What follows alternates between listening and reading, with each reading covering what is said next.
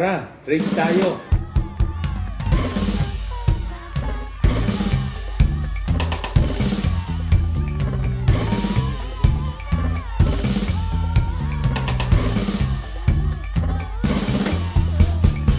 Magandang gabi po mga ka-trade. It's already Friday and it's uh, 6.30 and it's time for Trade Tayo. Welcome to DTI's show dito po sa ating YouTube channel. Ako po si Jean Pacheco ng Department of Trade and Industry na nagsasabing welcome po. No? So ito naman po ulit yung ating show. At umpisahan na ho natin dito sa ating unang segment, yun pong segment na favorite ko, Sagot Kita. Alam nyo ho, itong sagot kita, ito ho yung natutuwa ho ako dahil sa mga meetings ko, marami ho nang nag, nagsasabi na nanonood daw sila nitong show. And lagi nilang sinasabi, favorite din nila itong sagot kita kasi nga daw, ano, very informative, tsaka mabilis lang din nating nasasagot. Yung pong, as, as, as always, as mentioned before, lahat po ng mga questions na natatanggap ng DTI, sinasagot po natin yan, whether it is through uh, the DTI call center o kaya po sa ating uh, tinatawag na malasakit center o kaya naman po ay uh, meron din po tayo sa DTI website natin o kaya DTI Facebook. Lahat po yan ay sinasagot ng, ng ating um, uh, Knowledge Management Information Service. Hello to uh, Director Trish. Pero namimili ho tayo every week nung mga nakikita natin na talagang maraming nagtatanong. So ngayon po, we will now discuss again yung ating uh, most requested song. Ito na naman ulit business name registration. Okay, game na tayo. Uh, ang unang tanong, how do you pay for business name registration? Ay, tuwan-tuwa ko kami dyan. Alam niyo po, si DTI po, we're very happy na we were one of the pioneers in establishing yung digital payments. Kasi nga po, pag nag-apply po kayo ng uh, business name registration, tatlong process lang, di ba? Apply, pay, tsaka download. So you don't have to go physically to pay or to apply. So paano paano po yung mga payment natin? Ay nako po, uh, utos ni Secmon dapat to lahat ng available. So nag-umpisa po tayo sa GCA. Of course dati pwede kang pumunta ho sa sa DTI office. Pero ngayon po, available din po yung GCash, yung Paymaya, pwede pong credit card, pwede din pong kayong magbayad through ano, yung pong uh, uh, uh, Visa, Mastercard, JCB, pwede kayong pumunta sa 7-Eleven at yung sa Paymaya ho, yung mga smart padala, pwede na rin po yung mga bayad centers at saka LinkBiz portal po ng Land Bank. So talagang kahit na ano hong uh, pamamaraan, ay pwedeng pwede na ho kayong magbayad online uh, para ho makabayad kayo dito sa business name registration fee. Okay? Um, by the way, meron pala akong i-report. Alam niyo ho, uh, sobrang ano ho, no, nag-iba po talaga yung record ng DTI nung 2019 at saka nung 2020 kasi um, uh, I believe that we've collected about more than 500 million po dito sa business name registration at alam nyo po, in 2020, 68% paid online. Dati ho, last year, 35% paid online. So more people paid online uh, using digital payment. So yan po, talagang nasasanay na po talaga ang mga Pilipino sa mga online payments. Okay, next. Question number two. Paano ho daw magkaroon ng business name pagkabagong branch? Oh, ito po if this is the same business uh, name registered, kapag uh, bagong branch po, hindi niyo kailangan mag-apply ng bagong business name, lalo-lalo na kung ang territorial scope niyo ay national. Oh, so, kunyari ako po, meron po tayong uh, ganda babae salon. At yun po ay territorial scope na national. So, kahit na po nasa Metro Manila, nasa Abra, La Union, kung saan man po, basta national yung scope, may branch ako, ganda babae, pwede ko hong buksan yun at pwede ko na hong gamitin yung at ating business name. You don't need to apply for a new business name. Ngayon, ang problema, paano kung halimbawa medyo nagtipid ka nung nag, nag-apply ka ng business name? Eh, hindi mo naman alam na sisikat ang beauty salon mo. So, ang ginawa mo, nagbayad ka ng 230 pesos, kaya ang ginawa mo barangay lang. Ay, Eh kung dito ho ako sa Paranaque at magtatayo po ako halimbawa sa sa San Jose del Monte, ay hindi ho pwede. Talagang kailangan ho mag-apply huli ako ng bagong business name. Pwede kong i-upgrade, i-update. Yun po. Ang kailangan lang ho, pumunta lang ho ako sa nearest negosyo center. I have to bring my duly accomplished uh, BN related application form which is signed by me, uh, your presentation of uh, one valid government issued ID at saka po payment of the fees. So, yun po. Yun lang po ang kailangan nyong gawin para mapa-update po ang inyong business name kung kayo ay magkakaroon ng branch. Okay, oh? so dapat uh, kaya minsan sinasabi natin, maganda talaga yung territorial scope mo in national. Di ba? So, inaalagaan mo yung pangalan ng iyong business. Okay. Last question. COVID-related po. Marami nagtanong eh. So, may nagtanong, is cockfighting allowed o pagsasabong? Short answer, no. Cockfighting is not allowed in any community quarantine except for online or e-sabong during MGCQ licensed and regulated by by PAGCOR. Meron pong IATF guideline. Uh, si Department of Trade and Industry po ay nag-issue ng MC number 21-14. Makikita po ninyo ito sa dti.gov.ph. Kung gusto po nating makita yung full list of all establishments and activities allowed during the quarantine at iba pang mga COVID updates. So there. So yun na po. So we go now to our next segment uh, which is Usapang Trade. Good evening po everyone at mga ka-trade. At nandito ho ulit tayo sa second segment natin with our Director of the Bureau of Philippine Standards. Dati ho na-invite natin siya. He talked about um, standards development. Tapos he again talked naman of standards conformity, yun pong mga product certification. At ngayon ho, we will ask him about testing. Alam nyo ho, yung mga nabibili ho natin sa ating mga appliance store, uh, bago po yan mabigyan ng certification ni Director Neil, ay nagdadaan pa ho yan ng isa pang proseso. Ito po yung product testing. So, mag-hi ka muna, Director Neil. Oo. Hi naman ngayon. Sige. So, hi mga ka-trade. So, nag enjoy na ako rito. So, sana kayo din. So, mag-enjoy tayo sa, sa show na to. Oo. So, o game. So, ulit, alam na natin na ito yung 5 minutes. So, ano, nung una, okay, 100 ka. Yung second, lumampas ka. Dapat ngayon, swak ka, sir, ha? O game. So, ang una, I'd like to congratulate you and the Consumer Protection Group. Kasi alam nyo po, meron po kaming BPS testing lab na nandyan po sa Cavite nung una po, nako ho, medyo kailangan na. At, at ginawa ho ni Director Neil tsaka ni Yusek Ruth, nagkaroon po ito ng makeover. So yan ang una kong question sa iyo, Director Neil. Pwede bang kwentuhan mo kami ano yung latest update relative to the BPS Testing Center? Sige.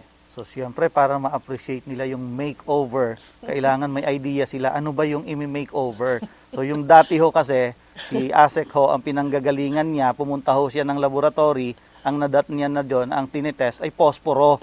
Eh, sa dinami-dami ba naman ng produkto ay posporo yung tinitest ng BPS.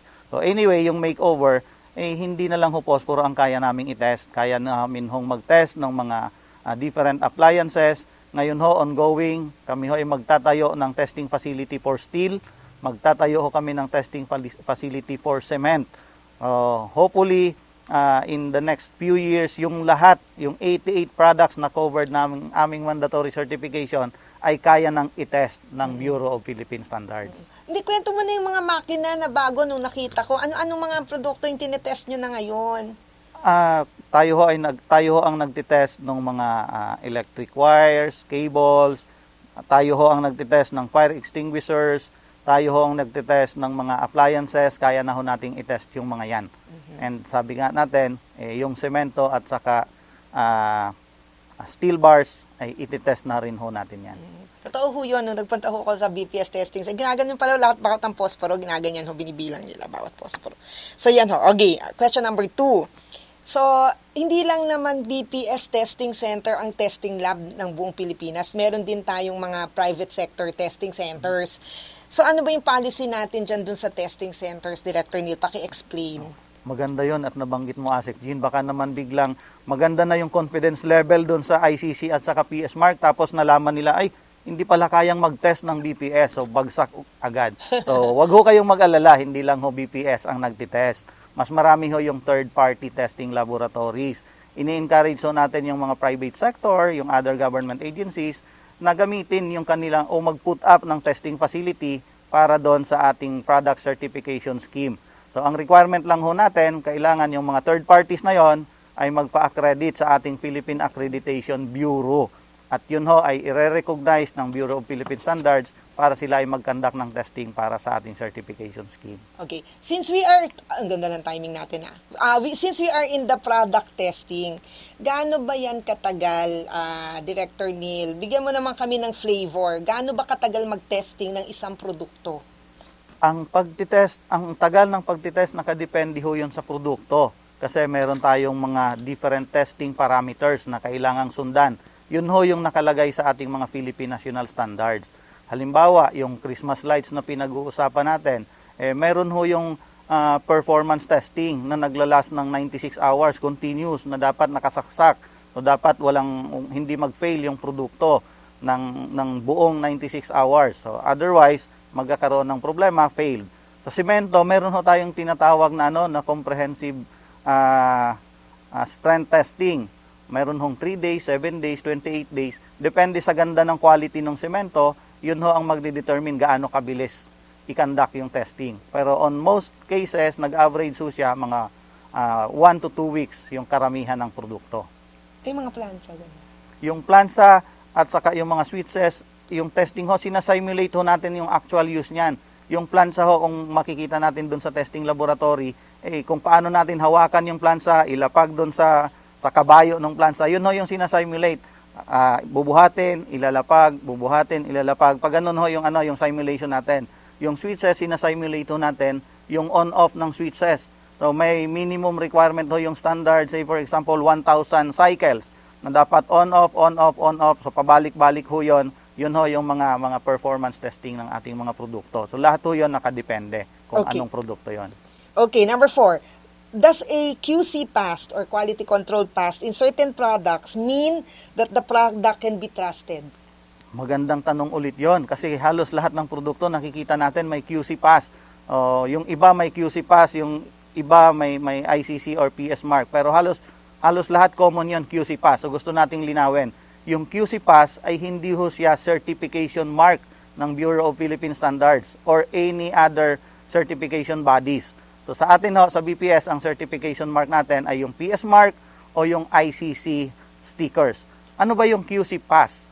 Yan ho ay nilalagay ho nung mismong manufacturer after na mag-undergo ng quality control inspection yung kanilang mga produkto. Bago ho lumabas sa kanilang production area, yun ho ay kumukuha ng sample yung kanilang mga quality controllers.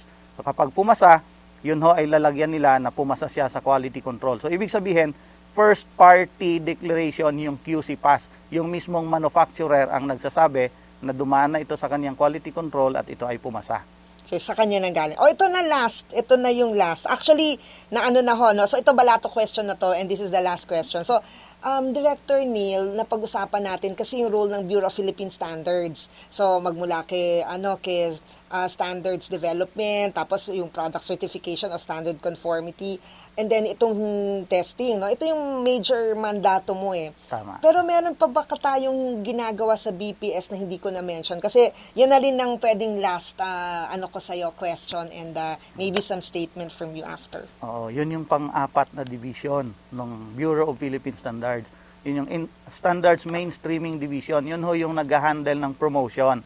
So, generic ho siya kasi siyempre ang pinopromote niya yung standards development, yung product certification, at saka yung product testing. Pero isa sa importanteng function ng ating Standards Mainstreaming Division ay yung international relations. So tayo ho yung inquiry point ng WTO. Ano bang ibig sabihin nun? Ano ba yung relevance nun? Yung inquiry point ho, doon ho dinadaan yung lahat ng notifications ng lahat ng WTO members. Kapag yung US, yung Japan, mga European Union countries, may mga regulations na nilalabas, dinadaan ho yun sa WTO, nino-notify para malaman natin, may chance tayong magbigay ng ating comments, mag-chance tayong mag-react. At the same time, kapag tayo ay may regulation na maapektuhan yung trade ng ibang bansa, tayo ho ay may ah, obligasyon na mag-notify din sa WTO. Ginagawa ho yan ng Bureau of Philippine Standards. Yung ating mga technical regulations, ah, pinapadala ho natin ang kopya sa WTO, binibigyan natin ng 60 days ng na 60 days ah, commenting period yung lahat ng WTO members para magsumite ng kanilang comments at makonsider hopefully doon sa ating ah, technical regulations. So in other words, para ho sa mga nakikinig, yun pong Bureau of Philippine Standards, hindi lang siya Philippines na domestic. Parang lumalabas talaga na sila din po yung ating representante relative to international or global, in this case, WTO, no? Kasi, syempre, trade nga ito, ba So, talagang hindi lang naman dito sa Pilipinas, pati labas ng bansa. So, sila yung, ano natin, pumopronta ho sa atin in the area of of standards. So there, um, Director Neil, uh, we did it. Um, I think um, a little bit of an excess, but I think um, uh, medyo nahabaan ako ng konti sa aking tanong, kaya balato ko na sa iyo yon. So 100% ka pa rin sa, sa scoreboard ko. So thank you very much. So you, you might want to, ano, to say goodbye. And tabi mo naman, nasasayahan ka na. So sige, mag-goodbye ka na sa ating mga, mga ano, followers sa YouTube natin. Siyempre, unang-una, maraming maraming salamat sa opportunity na maipaliwanag, maipaalam sa ating mga katrade, sa mga consumers, ano ba ang ginagawa ng Bureau of Philippine Standards. So, ang request lang ho naman natin ay patuloy niyong suportahan yung mga consumers, maging mapagmatsyag kapag may nakita kayo na hindi consistent doon sa mga pinag-usapan natin dito, isumbong niyo ho agad sa Bureau of Philippine Standards, aaksyonan ho natin yan sa mga partner natin ng mga manufacturers at saka importers, sundin lang ho natin yung mga regulations, wala hong problema tayo sa Bureau of Philippine Standards. So ulit, maraming salamat at magandang gabi sa ating lahat. Thank you. At uh, alam nyo ho, um, uh, gusto ho namin ipakita sa inyo yung sinabi kong makeover. So papakita ho namin sa inyo yung, yung BPS Testing Center, care of uh, the Bureau of Philippine Standards. So thank you everyone and thank you Director Neil.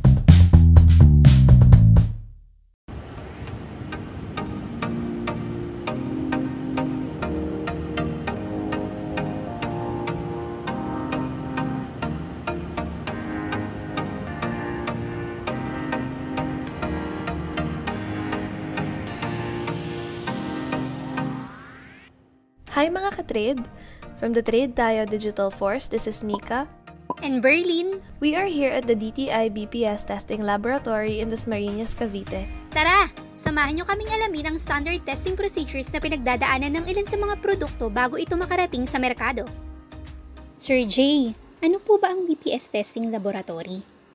Ang BPS Testing Laboratory ay ang testing arm ng Bureau of Philippine Standards kung saan ginagawa namin yung testing according sa Philippine National Standards para malaman natin na yung mga produkto na sinecertify ng BPS ay pasado sa standard at safe gamitin bago maibenta sa merkado. Sir Jay, maaari niyo ba kaming itour inside the BPS Testing Lab? Pwede din po ba kaming mag-try ng ilan sa mga BPS test na ginagawa nyo? Okay, pwedeng pwede. Tayo na!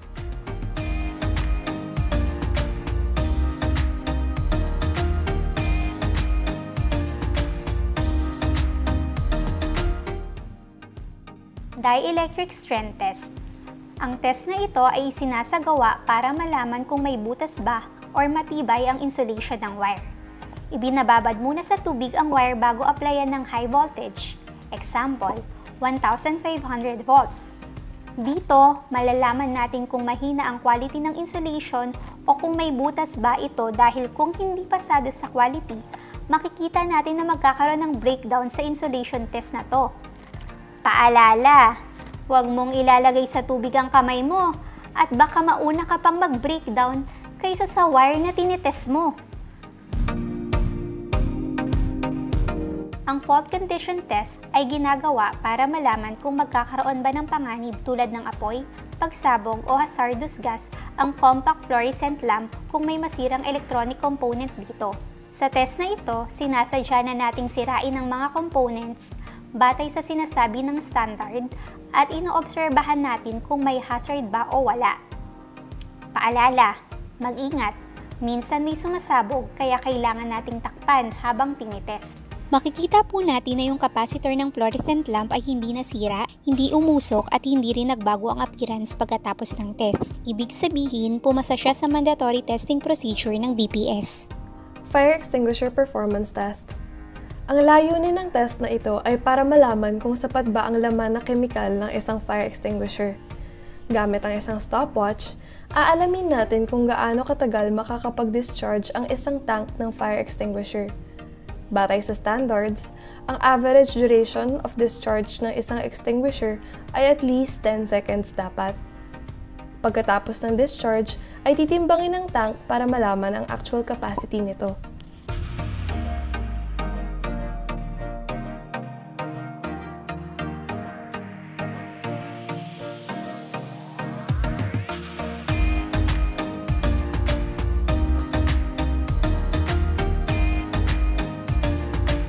Ate Beryl, sobrang nag-enjoy ako today. Para tayong nasa science class. Para ring siniskwela. Mga katrade, mukha lang madaling tignan yung BPS test na ginagawa nila engineer. Pero ang totoo, ang hirap niya. Agree ako dito. Mga katred, napakaraming preparations before the actual product testing. Mabusisi at maingat na ginagawa ang lahat ng tests batay sa standards. They are also observing the standard health and safety protocols inside the lab. At dyan po nagtatapos ang ating pagbisita sa BPS Testing Laboratory Muli, kami po si Namika and Berlin ng Trade Tayo Digital Force. na nagsasabing, May the digital force be with you. Back to you, Asik Jean. Ayan, dyan na po nagtatapos ang ating segment ng ating at saka ng ating episode na po ng Trade Tayo. We thank, special po ang ating segment ng DTI ka-trade vloggers, no?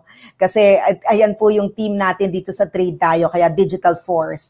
Si Berlin, si Mika, si Alo, at saka si Hans. So enjoy na enjoy po kami na dumalaw dun sa BPS Testing Center. Kasama po ako doon. So thank you, Director Neil, uh, and to the team of the Bureau of Philippine Standards. Uh, thank you for your very warm, warm welcome. Engineer Jay, uh, maraming maraming salamat also sa pag, uh, pag-allow sa amin na makita lahat ng mga equipment dito sa BPS Testing Center. So with that, dyan po nagtatapos ang trade tayo. Muli po, uh, thank you.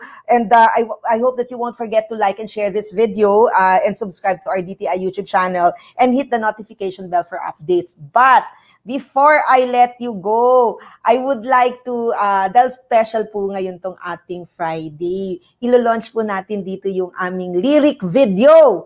Alam nyo ho, we have an advocacy dito sa ating e-commerce para ho talagang mahikayat natin yung, yung mga tao na sumuporta po sa e-commerce para ho yung meron po tayong roadmap at sinasabi natin na basta e-commerce madali no? Ito po yung ating kwento ng ating roadmap na talagang itinataguyod po ng Department of Trade and Industry particularly the e-commerce office.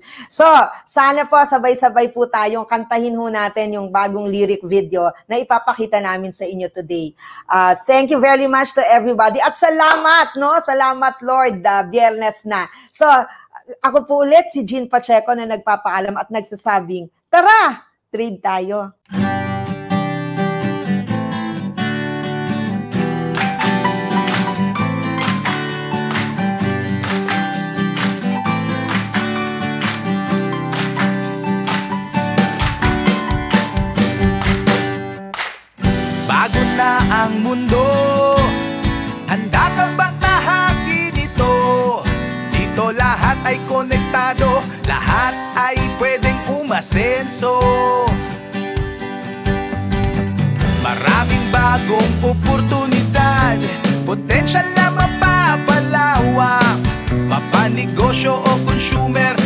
Kasama ka sa biyaheng ito.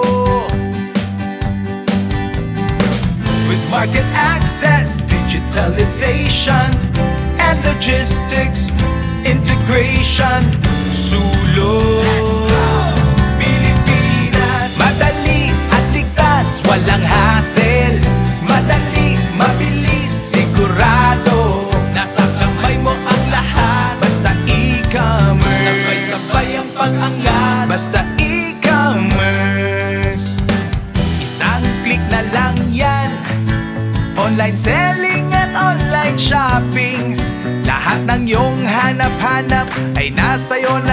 isang iglap. Maraming bagong paraan Kung trabaho ang iyong kailangan. Mundo ang iyong merkado Ipakita mo kung ano ang kaya mo.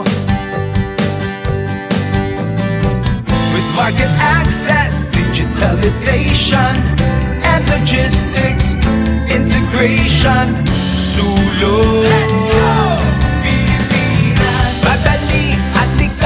Walang hassle, madali, mabilis, sigurado. Nasa kamay mo ang